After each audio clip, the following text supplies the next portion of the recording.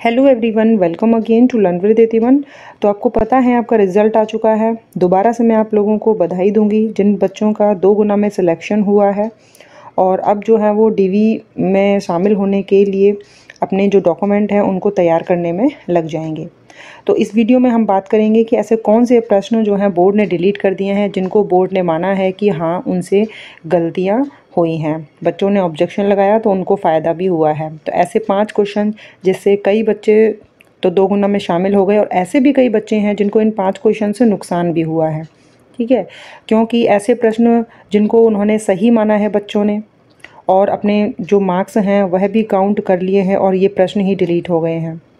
तो ऐसे में नुकसान भी हुआ है और फ़ायदा भी मैक्सिमम बच्चों का फ़ायदा ही हुआ है पाँच क्वेश्चन को डिलीट करने में, क्योंकि जब त्रुटि पाई गई हैं तो उनको शामिल जो है किसी ने नहीं किया होगा, ठीक है? तो यहाँ पर कौन कौन से प्रश्न जो हैं डिलीट हुए हैं, वो मैं आप लोगों को दिखाऊँगी और आप लोग जो है उन क्वेश्चन को देखकर भी ये आप पता लगाएँगे कि हाँ हमने जो है इस क्वेश्चन को नहीं किया, छोड़ दिया या हमने पहले ही मान लिया था कि ये तो डिलीट होंगे। तो इसमें देखिएगा, सबसे पहले जी के करंट अफेयर में जो 55 क्वेश्चन है, वो डिलीट हुआ है। इंग्लिश में 113 क्वेश्चन एक क्वेश्चन जो है डिलीट हुआ है। जनरल साइंस में जो डिलीट क्वेश्चन है, वह 96 है और वहीं आईटी में दो क्वेश्चन डिलीट हुए हैं 149 और 150 ठीक है? तो ये तो संख्या है। तो यहाँ पर देखिए इंग्लिश का जो क्वेश्चन है वन वन थ्री ये वाला क्वेश्चन जो बोर्ड ने, इसमें गलती उनको मिली है। ऑथेंटिक प्रूफ जब दिखाया गया तो इसको उन्होंने डिलीट कर दिया है। तो इस क्वेश्चन पर जो है, किन को फ़ायदा हुआ है, बिल्कुल बताएँ। ये देखिए आईटी का क्वेश्चन है। जब आप एक्सेल फ़ाइल को वर्ड डॉक्यूमेंट में इंसर्ट करते हैं तो डेटा होते हैं तो इसको भी बोर्ड ने गलत माना है। ऐसे बालक जो अनुसूचित जाति, अनुसूचित जनजाति अथवा सामाजिक, शैक्षणिक, पिछड़े वर्ग से संबंधित हैं, उन्हें परिभाषित किया गया है। तो इस क्वेश्चन को भी बोर्ड ने डिलीट मान लिया है। जीके का है ये। पुस्तकालय को डिजिटल रूप में रखना। तो आईटी का ये क्वेश्चन भी डिलीट हो गया है, यानी वन और वन क्वेश्चन डिलीट हुआ। नेक्स्ट देखिए, यहाँ पर निम्नलिखित में से किसका उपयोग अपचयोपचय अनुमापन में प्राथमिक मानक के रूप में किया जा सकता है तो इसको भी डिलीट कर दिया गया है।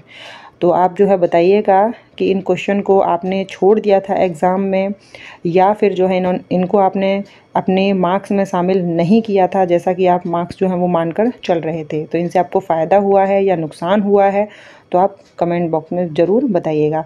देखिए, मेरे द्वारा जो भी वीडियो बनाया जाता है, वो बिल्कुल आप लोगों के लिए इंपॉर्टेंट रहता है।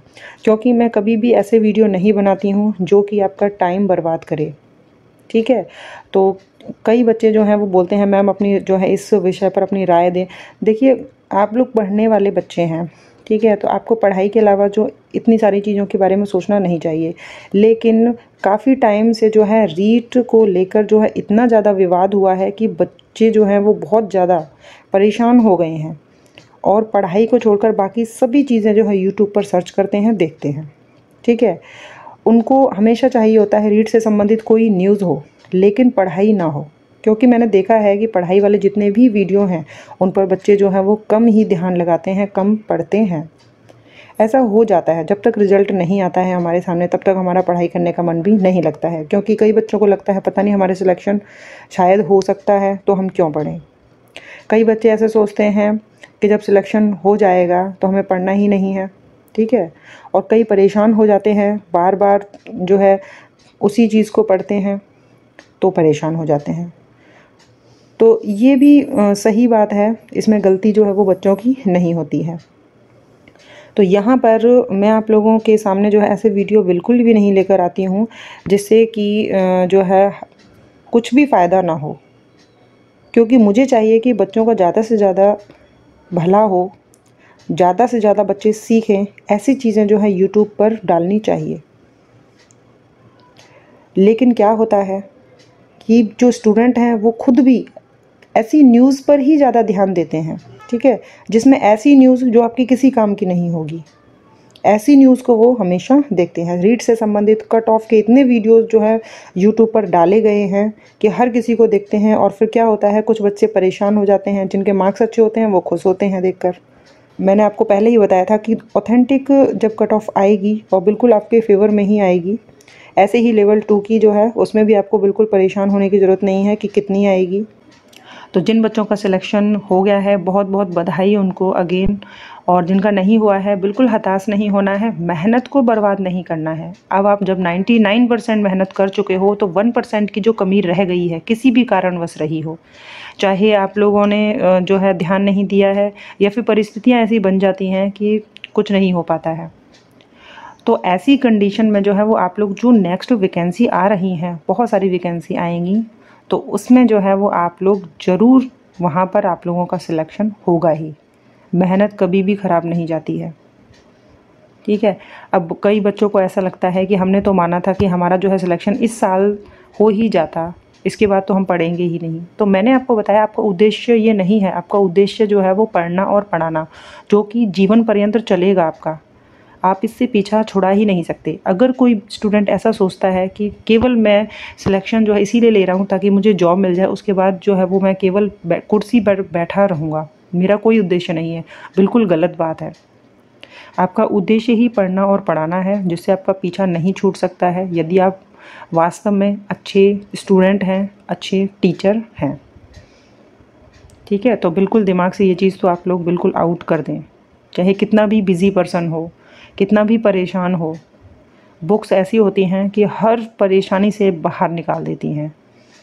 तो इनको ही अपना दोस्त माने और आपको जीवन भर जो है, इनके साथ ही रहना है, इनके साथ ही चलना है। ठीक है? तो जैसे ही लेवल टू की आएगी, रिज़ल्ट आएगा, कट ऑफ़ आएगी तो हम उस पर भी चर्चा करेंगे कौन कौन से प्रश्न जो हैं, डिलीट हुए हैं। और किन, कितने बच्चों को जो है उससे फ़ायदा हुआ है तो आप सभी लोग जो है इस चीज़ को समझ के रखेंगे कि हम, हमने जो भी प्रूफ दिया है बोर्ड को तो बोर्ड ने उस प्रश्न को डिलीट किया है या नहीं किया है, यदि आपने ऑथेंटिक प्रमाण दिया है तो बिल्कुल उस प्रश्न को बोर्ड को डिलीट करना ही होगा। ठीक है? मैंने ही जो है स्टूडेंट के नाम पर, यानी एक स्टूडेंट जो है उस, उसको आपत्ति लगानी थी लेकिन क्या होता है, केवल स्टूडेंट ही लगा सकता है आपत्ति। ठीक है, उसी का रोल नंबर जो है यूज़ होता है। तो इसीलिए मेरे द्वारा भी जो है वो छः प्रश्नों पर जो है वो आपत्ति लगाई गई। अब देखते हैं लेवल टू में जो है क्या होता है बोर्ड जो है कौन से प्रश्नों को जो है डिलीट करता है। तो मिलेंगे। Thank you